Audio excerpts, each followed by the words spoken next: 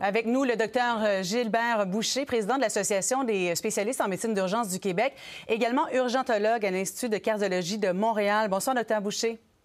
Bonjour, Mme Lacroix. Bon, vous avez un bon portrait de la situation euh, dans les hôpitaux comme urgentologue, mais aussi comme président de l'association. Dites-nous concrètement comment ça se passe en ce moment. Pas très bien, en fait. Euh, depuis dix jours, c'est vraiment difficile dans les urgences. Il y a un achalandage assez monstre. On le sait, là, la pandémie, on est en pleine sixième vague. Ça fait à peu près deux, trois semaines qu'on commence à manquer de travailleurs, pas seulement à l'urgence, mais sur les étages. Fait qu'il y a des lits de plus de fermés. On a des patients qui ne réussissent pas à sortir des hôpitaux parce qu'on n'a pas de place pour eux dans des lieux alternatifs. Ce qui fait les taux d'occupation sont très, très élevés en ce moment. Hier encore, là, près de 15% des patients qui sont venus dans nos urgences sont repartis sans voir de médecin. Hmm. Alors, c'est vraiment pas facile. On le voit pas beaucoup sur le...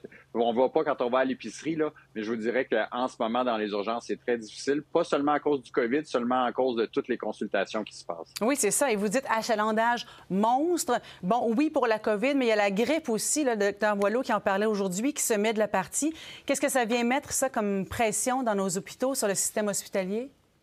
Alors, c'est effectivement, c'est une pression de plus. On en voit plus dans la région de Québec en ce moment. Là, Chicoutimi aussi sont sous pression. Dans la région de Montréal, c'est un petit peu, euh, un petit peu un mélange de tout. Faut pas oublier que le COVID, oui, c'est pas des patients très malades, mais ça met quand même de la pression sur le système. Euh, les personnes qui sont, qui sont un petit peu faibles à la maison, qui ont, qui ont besoin d'aide, quand ils attrapent la COVID, c'est pas des gros problèmes respiratoires, mais il faut souvent les garder à l'hôpital quelques jours. Ça, ça, ça prend des ressources. Euh, monsieur tout le monde, on le sait, la santé mentale a été difficile dans les derniers mois. On le mhm. voit sortir, les gens ont besoin mais il y a beaucoup. Euh, nos salles d'attente sont vraiment pleines en ce moment, malheureusement. On n'avait pas besoin de ça, hein? la grippe euh, qui, euh, qui s'ajoute à tout ça, docteur Boucher. Et là, quand on regarde les chiffres de la pandémie, on franchit à nouveau le cap des hospitalisations, ce qu'on n'avait pas vu donc depuis des semaines, hein, depuis la mi-février. Et dans la conférence de presse aujourd'hui, le docteur Boileau a mentionné que tous les outils étaient mis en place, à son avis, pour éviter une surcharge du réseau. Est-ce que vous êtes d'accord avec lui? Euh, la, surcharge du réseau en ce moment, c'est vraiment un ensemble de, choses qui font qu'on a beaucoup de gens à l'urgence.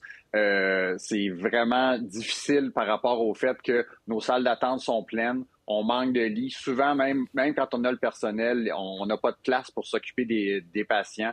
Alors, oui, ça va être important en fin de semaine. Là, les gens ont besoin de savoir, on le sait. Mais si vous êtes infecté, essayez de rester un petit peu chez vous. Dites-vous, les gens que vous rencontrez, est-ce que vous voulez vraiment leur donner ce, virus-là? Il est quand même très léger, mais pour les gens qui l'ont eu, là, surtout si vous n'êtes pas vacciné, ça peut être quand même assez difficile. On parle de 10 jours à la maison sans travailler. Alors, euh, c'est pas des choses faciles, mais en ce moment, je vous dirais, depuis 10 jours, c'est assez difficile dans, dans, nos urgences. Si les patients n'ont pas besoin de venir, on vous demande de ne pas vous présenter parce que malheureusement, on prend des fois la place des gens qui ont vraiment besoin de venir à l'urgence. Est-ce que vous craignez ça quand vous nous parlez des réunions familiales? Qui sont prévues en fin de semaine? C'est la première grosse fête là, sans directive vraiment à Noël, puis au jour de l'an, il y en avait des directives. Est-ce que vous craignez que ça ait des impacts importants dans le réseau dans les semaines qui vont suivre euh, le dimanche de Pâques? Le, c'est pas nécessairement seulement par rapport à la COVID, mais je vous dirais qu'il y a une recrudescence de virus là, depuis deux, trois semaines. On parle de l'influenza. Ça fait quatre à six semaines qu'il y a beaucoup de gastro. Les centres pédiatriques sont pleins, ça déborde. Alors, c'est sûr qu'il va y avoir de la Mmh. Oui, il va y avoir de la contamination en fin de semaine, c'est sûr. Puis c'est sûr que le, personnel, là, on manque de gens. Puis quand il y a quelqu'un qui tombe malade, ben soit qu'on ferme un lit ou soit qu'il y a quelqu'un qu'il faut qu'il fasse un double. Alors c'est vraiment pas facile par rapport à ça. Mmh. Les gens, faut faut garder une certaine distanciation. Mais en ce moment, on a comme une recrudescence, pas le, juste le COVID, là, mais il y a beaucoup de virus dans nos urgences. Un peu de tout, euh, finalement, ça se multiplie. Euh, on regardait les chiffres tout à l'heure du personnel soignant qui est touché, près de 13 000 absents dans le réseau. Est-ce qu'on risque de se retrouver dans une autre situation de délestage? Je pense à ceux qui attendent des chirurgies depuis des mois, voire des années. Est-ce que vous pensez qu'on va remonter encore le, niveau de délestage dans nos hôpitaux? Fait qu'on n'espère pas. Nous, qu'est-ce qu'on voit depuis trois semaines? C'est justement la vague a commencé, le personnel soignant a été infecté. Ces gens-là commencent à revenir déjà. Fait qu'on espère que ça ne montera pas beaucoup plus que, 13 000. Mais effectivement, ça met beaucoup de pression sur le réseau. Puis encore là, on sent les, on sent les effets. Depuis une semaine, près de 60% de nos lits dans les urgences sont pris avec des patients qui attendent des hospitalisations. Puis ça, quand on commence, comme en fin de semaine dernière, ça a été très difficile. Fait quand on a commencé lundi matin, on savait que la semaine allait être très très, très difficile. Puis en ce mhm. moment, quand on commence nos corps de travail, on regarde la salle d'attente, puis on sait qu'on ne pourra pas voir tous les patients qui y sont. Fait que c'est vraiment difficile pour la population. Oui, et dur pour le moral, pour le personnel soignant qui est en place aussi, là, de devoir dire aux gens, on ne peut pas vous voir, on n'a pas de place, on n'a pas de personnel.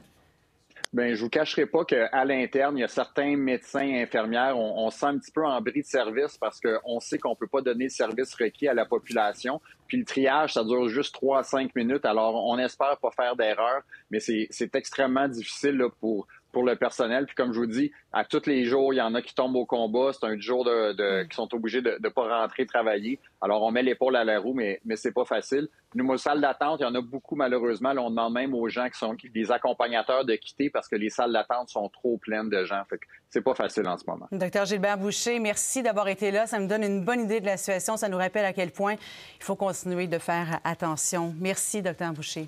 Au revoir. Merci, Mme Lacroix. Bonjour.